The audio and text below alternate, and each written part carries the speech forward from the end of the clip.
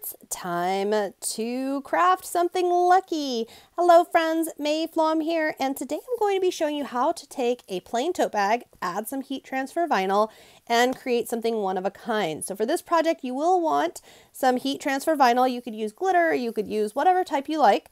You're also going to want a blank tote bag. A zipper pouch would also work. A t-shirt could work. Whatever material you would like to transfer onto. And of course, you're going to want your ScanNCut. So to start off with, I have my mat, placing it down here, and I printed out from the computer the letter L and then CKY. I'm going to spell out lucky, but I have a horseshoe file I want to use for the U because I think that will be super cute. And I left some spaces between the L and the CKY just to make my job easier to have one less thing to do, at least in my head, it made sense. It does not matter. You could, in fact, put it all together and then separate it once scanned. We're using the scan feature here on the ScanNCut. and what that's going to actually do is it's actually going to allow us to create a cut file out of this printed. Now, we could also use the converter tool that you can get free and use to convert fonts into ScanNCut files. There's a lot of different ways to approach this. I am a very visual person, so having this printed out and thinking about it and is this the right font, etc., etc., worked really well for me. As you can see, I have saved this to the machine, and now that is saved to the machine. That is why we did scan, not scan to cut, we went scan to make the file to create something out of it, not to cut directly out of the material, the printer paper that we had in there. So now I'm just going to go to the bottom and get my file.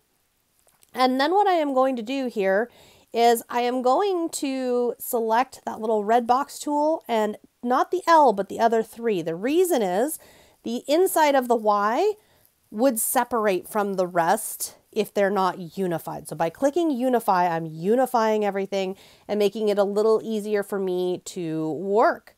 Now I've got my USB there inserted and I know I happen to have this SVG file in here. And yes, with our ScanNCut, we can just have an SVG file that we just pull on in, which I will show you now as we get it up here.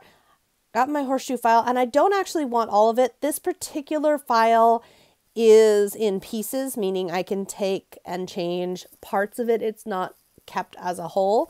So I'm just going to remove the pieces that I do not want by selecting them and hitting the garbage can. And I don't want that. So we're going to just kind of pull that over here and then we're going to click on that other one over there. Now I don't, don't end up using the heart.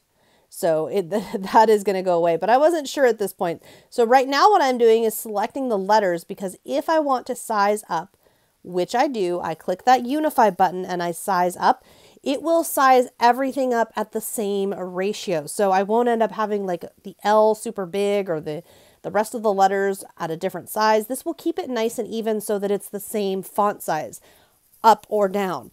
And if I had put the horseshoe in there and added that as a part, it would keep that as well as the same ratio, the same size. So that's a really good tip for if you're trying to size up or down more than one item, unify them, and then you're really able to look at that. Now, if you ununify them, it pulls them back apart, which is great because maybe you don't want them to cut that way. It's just that you want to be able to see how everything is going to fit together, how everything is going to be sized, how is it going to work or is it not going to work, and be able to make all of your adjustments right here on our ScanNCut.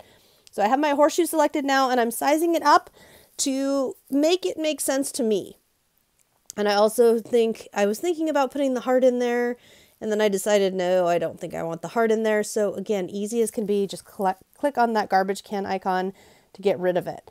Now remember I was saying how I want to be able to put the letters close together and the horseshoe would be separate. I'm going to do two different colors. I'm going to do the letters in green, the horseshoe in gold. Um, side note, as I scan this, I have it opposite. I, I do fix that. I do fix this and make it so that the letters are on the green, the horseshoe's on the gold. Um, but that's one of those things as we go through, you know, as we go through and we're creating, we want to think about those things. We also want to make sure our heat transfer vinyl is transfer sheet down, iron on side up so that it cuts correctly. And knowing that, that means that whenever you cut heat transfer vinyl, you do need to go into object edit and this little mirror button, you're flipping your letters so that it's going to look reversed, but that's a good thing because then when we go and look at it, it will be in fact correct. Now you can see here half cut is on. That means the auto blade will cut half. The auto blade will cut only through the material, not through the transfer backing, which is a very good thing. Now, as this was cutting, I had the thought, well, I should go get the shamrock and cut a couple of those. I have this scrap of green. So that's what I'm doing here, going in and sizing.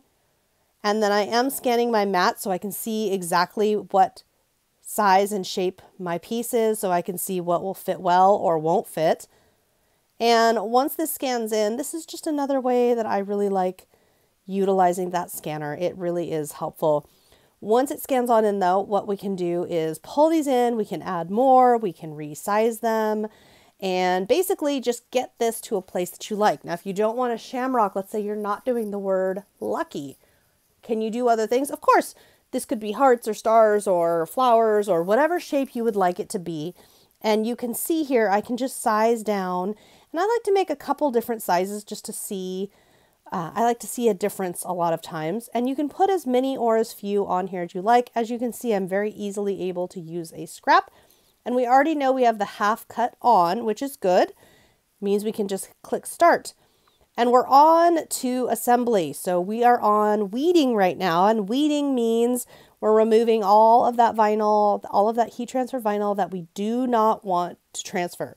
If we don't want this vinyl to be on our final project, we need to remove it so that when we do get out the iron, otherwise the iron will just, you know, the iron won't know which parts we do and don't want. The iron would just transfer it all.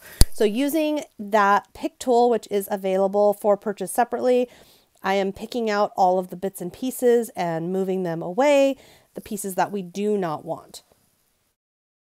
Ready to heat transfer, you're going to want to get out your iron. You're going to want some material to lay over it. And I also like to do a test as you see here laying out the pieces so that I can see which end I want to start with, so I can see if my design is going to work, if there's any alterations that I need to make before we actually get to permanently transferring this with our iron. Then we will figure out, okay, I would like this side or I would like that side and lay everything out. You can do this all at once or you can do it piece by piece. You're just going to want to make sure that all vinyl that you are trying to transfer is directly touching the surface, that none of that shiny transfer material is underneath any vinyl because if it is, it cannot transfer properly. If it is under, it just will uh, will not work because it would be transferring onto transfer material instead of onto your tote bag. So once you are all set and ready to go, I'm going one side to the other. Press with your iron nice and firmly and then once you're all done, you're going to lift up. Now, if for any reason it is not lifting up and it has not transferred, place your material back over, and that's to help prevent from any singeing or burning of your material and try, try again. As you can see here, it's come off beautifully. Oh my gosh, I love this. And our final touch will be to get out those little shamrock accents that we made and put those on and then press again and again. If you're going to iron this tote bag or whatever material you have, if you're going to iron it, you're going to want to put the material back over to prevent yourself from burning that heat transfer vinyl from too much heat and direct contact with your iron. As you can see, it's super fun and super easy to create with our ScanNCut and to make custom giftables or just everyday items for ourselves with the ScanNCut and with a little creativity. I hope that you have enjoyed this tutorial. As you can see, it turned out super, super cute, so much fun, and I have got a lucky tote bag to head on out and go shopping with.